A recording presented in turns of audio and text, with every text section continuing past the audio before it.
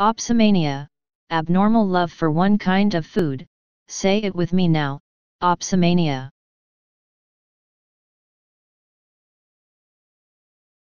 Please subscribe and thanks for watching.